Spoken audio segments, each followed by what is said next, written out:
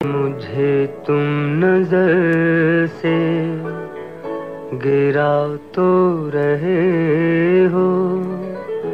मुझे तुम कभी भी भुला ना सक